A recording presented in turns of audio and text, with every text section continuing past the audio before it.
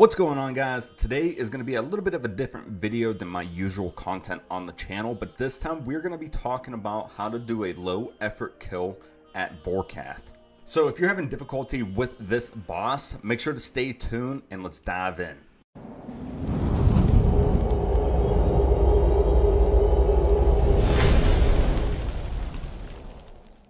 I like to point one thing out before we fully dive into this video. This video will be for mainly people who are trying to get the 100 kills for the upgraded Nexus or chasing after the pet. This is not going to be any kind of speed killing, so you're going to be looking at about four and a half minute long kills. So again, this is for people who are basically just trying to get 100 kills over with and just want to do as low effort as possible.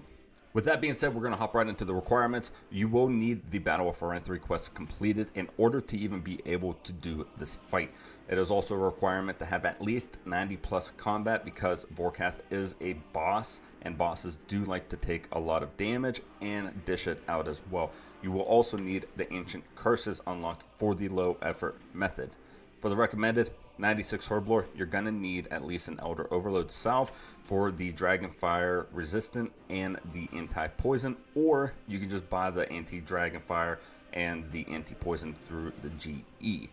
Now you're also going to be looking at about 20 mil GP per hour, which is not bad for doing about maybe 13, 14 kills in an hour since the kill rate is slow. As for the gear, we are going to be using the tier 90 Necromancy set, the Death Warden set, and we are going to be using the Vampirism Aura. We also are going to be using the Zuk Cape, which is almost a requirement for this since you need to be able to dish out multiple Death Skulls over a Living Death rotation. We do also have an EOF, an Essence of Finality, if you guys don't know the abbreviation, but an Amulet of Souls will do just fine. In the ring slot, we do have a Reaver's ring. We could use the new Oculus ring here if you really want to. And if you don't have a Reaver's ring and you got a drop from the Oasis. We have our Nexus to hold all of our Necromancy ruins. We have the tier 90 weapons for Necromancy. This is a guide for low effort with the lower tier stuff. So you don't have to go out having your full on tier 95. Now we also do have a Scripture of Jas book in our pocket slot.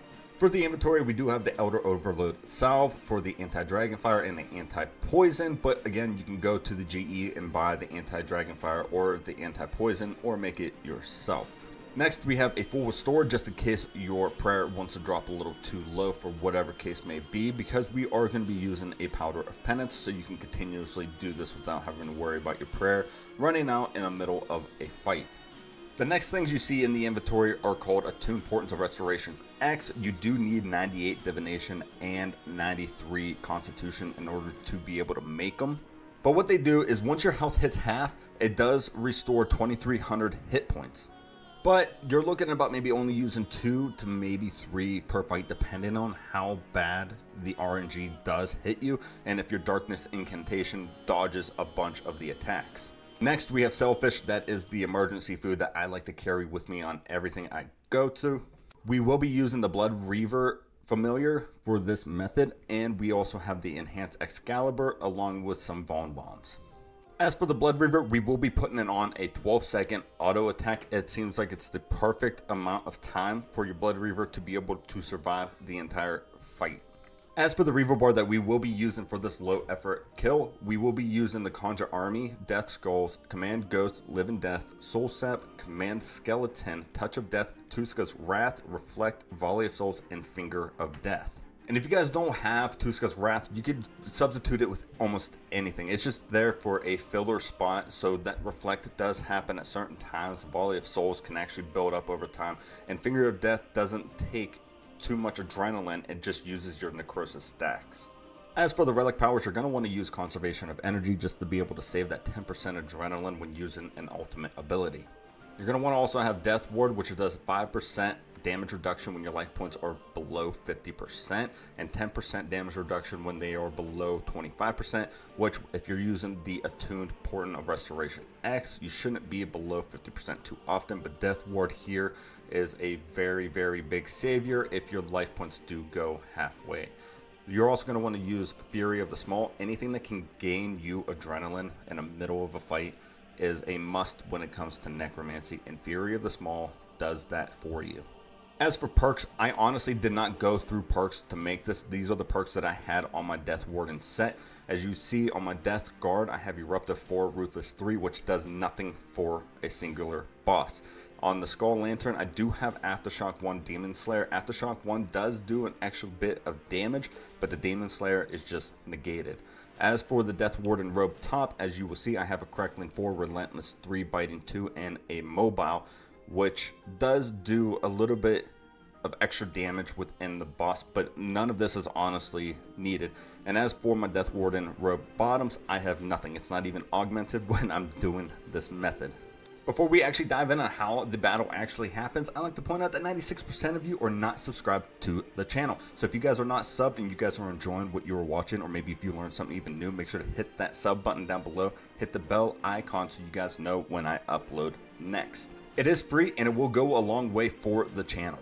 Alright, enough of that, let's get back into the method.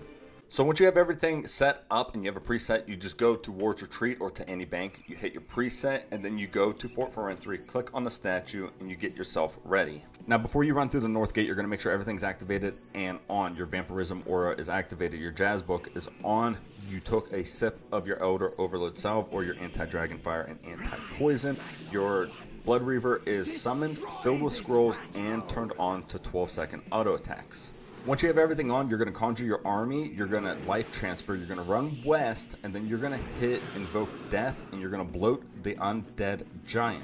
Now, during this part of the fight, you want to make sure that you're doing your best not to use living death.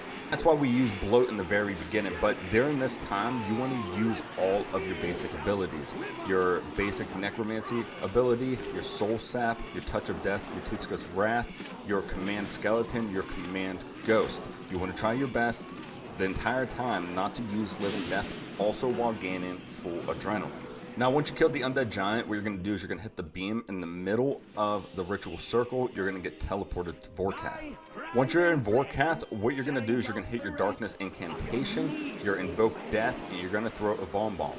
After that, all you're going to do is you're going to let the Revo bar work. Now, there are some cases during the fight that you might have to use the special ability that you see right there above my mini map which is just an arrow which shoots down a bunch of ballistas down on all of the enemies.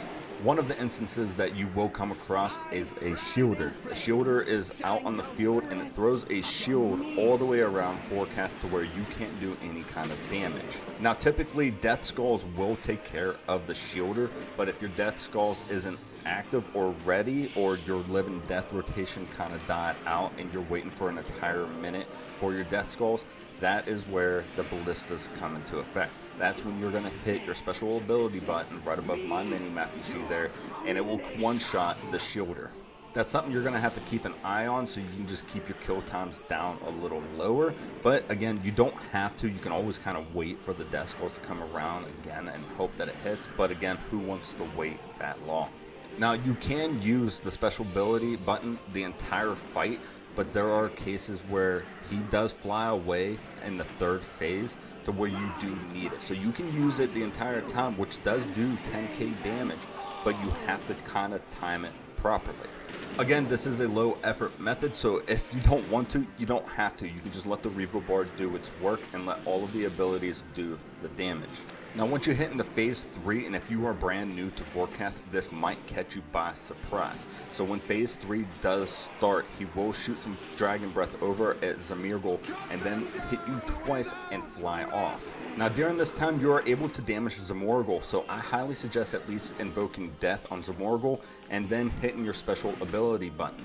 The special ability button will shoot down Vorkath from the sky, and if you don't hit it in time, Vorkath will come back, shooting ice shards from the entire battlefield and doing massive damage to you. Now once Vorkath is back on the ground and attackable, you just go right back to it. You click on Vorkath, you can throw a Vuln Bomb if you really want to, just to make it a little bit faster for this end part, and then you just let the Revo Bar do its work. And then you're just going to keep an eye out for a shielder. If the shielder's out there and your ballistas are ready to be used again, just use it. This is also a time to where you can easily just keep hitting your ballistas because Vorkath does not fly away after this. Now another mechanic that you do have to watch out for are the big blobs that Vorkath does spit all over the floor. So when Vorkath does do this mechanic, and if it does land on you, you do have to move a little bit.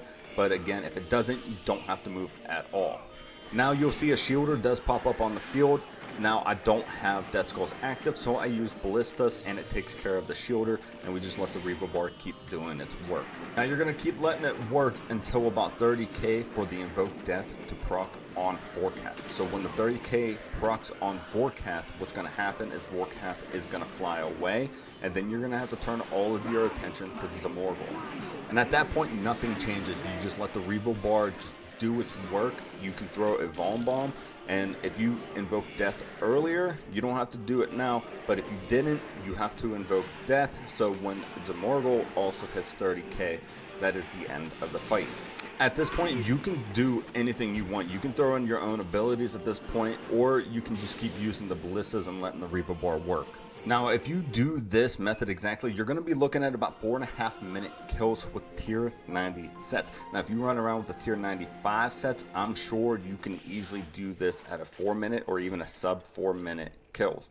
Before I actually end this, I like to point out that you can easily do this on mobile as well. Same setup, same exact Revo bar, same exact method.